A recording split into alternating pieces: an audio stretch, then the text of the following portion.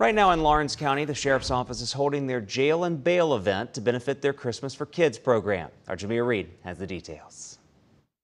Laurens County Sheriff's Office is helping to raise money for kids this year for Christmas, and to do so, you have to spend some time in custody. It's their annual Jail and Bail fundraiser event on the historic Courthouse Square.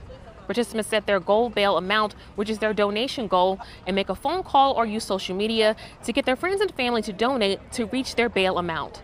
The fundraiser is for the Christmas for Kids program. It's a fun time for a good cause. We have people who will put the jumpsuits on and take the mugshot photo. We have ones who want to be picked up in a patrol car at their uh, places of employment. I mean, they just make it a fun experience uh, because it means so much to them to be able to help Christmas for kids. It really feels good to kind of find a way to give back to the community and to have the honor of being um, nominated to do this. Like I've, I've really enjoyed raising the money and soliciting my clients to help raise this and go to a great cause. The minimum amount to set a goal or quote bail is $100. Last year they raised $24,000 in one day. This year their goal is $25,000. And the event wraps up at 4 p.m.